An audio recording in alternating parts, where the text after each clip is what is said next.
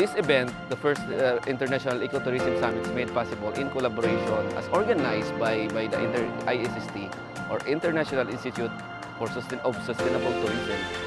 It's a uh, first green travel mart and selling fair. So this is also made possible in support with the Department of Tourism and the Asian Ecotourism Network.